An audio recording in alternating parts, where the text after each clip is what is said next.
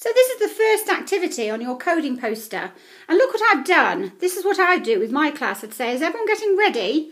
So you've got your whiteboard on the poster ready so that your focus is just on the visual prompts. Now this activity is all the visual prompts and it's no letters, no num no letters, no sound pics. So what the what your teacher might do first of all is give you the speech sounds and you've got to find the right one. R-ed, beoot. R-ed, beoot. Can you hear the word? Did you hear red boot? If you did, you'd have put a circle around it. That's the, I'll do duck fingers because I can't, can't see. R-e-d, boot. I've got a red boot.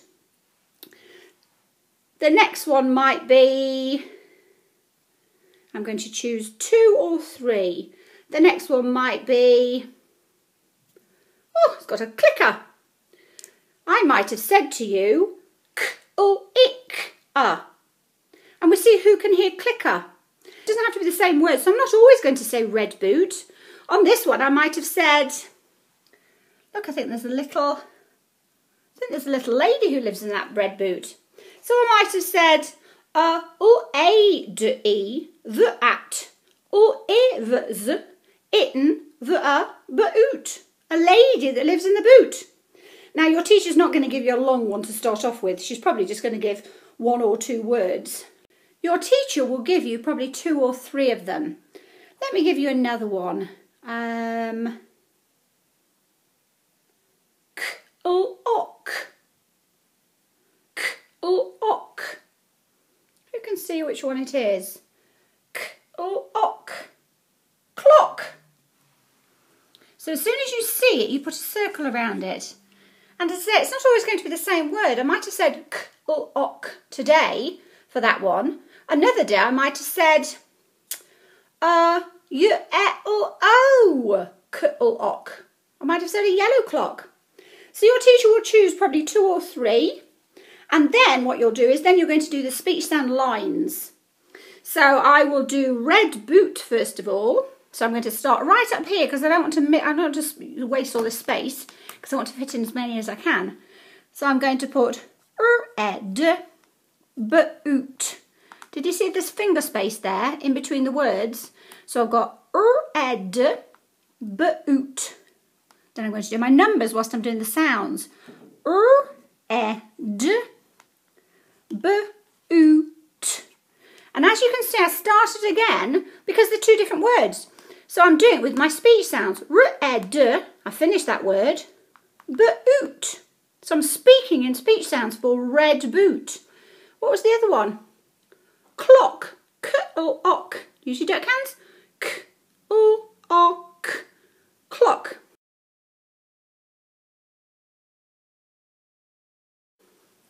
I might do that one up here. K, o, ok. K, o, ok. Clock. So your teacher might do two or three and then you've got to do the speech sound lines and your teacher will just walk around the classroom and check if you're doing the sounds, if you're really hearing those speech sounds. So that's this activity. There's no letters, no sound pics. But what will soon happen is that you, your teacher doesn't need to lead that. You do it yourself. So your teacher will say, is everybody ready? Make sure you've got all the boards right so that everybody's ready. Everyone's got their pens. Everybody's sorted. Everyone's listening. So then your teacher will say, go! And you're going to choose which ones you want to do and you're going to circle them. But you're going to circle it and then you're going to do the speech sound lines. Then you're going to circle another one and do the speech sound lines. And if your teacher comes round at any time, they can say, what's this one? And you'll be able to follow the sounds to say the word and tell them where you found it. Now you'll end up getting really creative. So this might not have just been a racing car. This might not just have been a r a s e m car. R a s e m car. It might not just have been an ordinary racing car. You might have decided that day it's a uh, bright, sh, I, e, f, a, st, r, a, s, e, m, k, a. What was it? A, b, r, i, t, sh, i, n, e, f, a, st, r, a, s, e, m, k, a. So if your teacher came Uh, later on and said, goodness me, this is a nice long one, what's that one? You would say, look, it's there. And it's a, bright, bright, shiny, shiny, fast, fast, racing, racing, car, a bright, shiny, fast, racing car. Oh, how exciting is that? So after you've rubbed everything off, then you move your whiteboard again. This time we're going to do this activity. So we've already done this one, and remember there's no letters, no sound pics in that one. That's just for phonemic awareness. That's really important for your brain. Then when we come down to here, now if you're on the green level, you'll start on the green level. Once you get up to the blue level and you're really confident with all of the others, you're really confident with green and purple and yellow and blue, you'll start on blue. But at the beginning, everybody starts on green. And let me show you what you have to do. So you're going to say it, draw it. Look, say it, draw it. S, s, ah, ah, t, t, p, p. And you're going to go all the way, you're going to go as far as you can because this activity took about a minute. This activity you only get about a minute at the most. Now, if you have been working on green or purple, whatever, and your teacher wants to give you a little bit of a boost, she might say, or he might say, right, get your, let's say we're going to do yellow, and you haven't been doing much of yellow before. Let's say you've managed to get all the way up to here and you're doing really well with these, and your teacher's thinking, I know, we'll do a, give you a bit of a boost today. What she might do is she might say, right, get your pens ready on the J. So instead of doing all the way over here, you're just going to put your pen on the J and she's going to do the sounds and then you say the sound after. So she'll go J, you draw it and say J at the same time. The, the, w, w, x, x, y, e, i, now we do that. Do you see the little star up there? That means there's more than one. So you're actually going to go over this more than one time because that, that's a picture of more than one speech sound for this activity. So she might actually say the sound so you're looking at them as she's saying the speech sounds and you're going over the top of that and re really helps your brain. So your teacher would probably do that first and then say, right, now you have a go. And whereas yesterday you were getting all the way up to there, today you're going to try and do a little bit more, just remembering that the ones we did together. So you'd go through with s, and you draw it, ah, and you draw it, t, and you draw it, p, and you draw it, i, and you draw it, m, m, d, g, and j, o, s, a, b, f, f, o, o, o, s, etc. So that's all you're doing there. It's say it and draw it. That's that activity. And I say you've got about 60 seconds to do as many as you possibly can. And of course you rub it all off. And now what are we going to do the whiteboard so we're nice and organised? Now we're going to move it up, put it on here. So we're ready with our words. And these words are follow the sound, say the word words. So when you get to them, you can either do it just by with your finger, s at, sat, n, ap, nap, p, at, pat. Or you can do it with your duck hands, which is always a really good idea. S, at, sat, n, ap, nap, p, at, pat, sp, it, s, spits. Do as many as you can. You might do at, sat, and then cross it out so that the teacher can see how many you've done. Now, again, with your teacher, supposing you've been doing these and you've been doing really well, and just before the time comes up, you start to do these. The teacher might say on one session, right, everybody, all I want you to do is look at it with your finger. I'm going to give you the sounds, you tell me the word. So you do that with me now. Mm, ah, mm. Did you say man? D, ah, d, dad. Mm, ah, mm, mum. G, ap, gap. J, et, all, gentle.